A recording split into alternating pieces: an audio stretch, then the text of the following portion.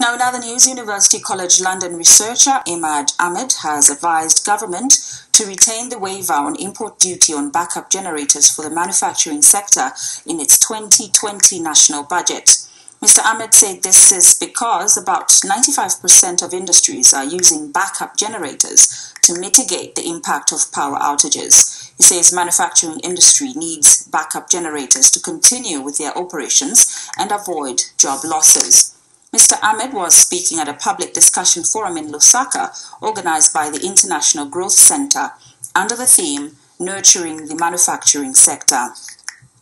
And ERB research economist Cletus Sikwanda, who was one of the panelists, said there is need for awareness to firms on how they can assess low electricity tariffs like the mines through tariff setting process. Meanwhile, Zambia Development Agency Director Enterprise Development, Mukula Makasa, said there is need for the country to invest in alternative sources of energy such as biogas.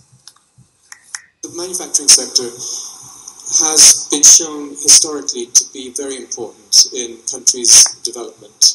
Um, industrialization leads to job creation and it, it leads to an evolution of the economy into this into the services uh, sector. It doesn't necessarily have to be like this. Zambia can chart a new course that is different from this. Um, it would be exceptional. Uh, it's not uh, historical. Me as a consumer, I'm at the far end supply.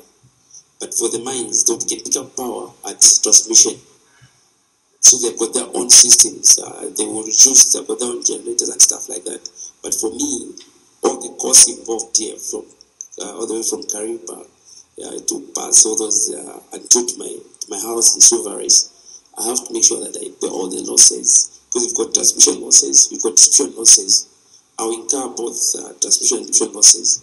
But for the mines, they may not incur distribution losses given that they are tapping in at transmission. This year alone, uh, mid-year, I mean up to uh, June, um, we had recorded uh, $2 billion worth of investment power generation. But of course, the argument is, yes, we are attracting all this investment, particularly into hydro uh, power production or generation. But then we have, um, you know, climate change affecting us. There isn't enough water so even if we invest in hydropower generation, there isn't water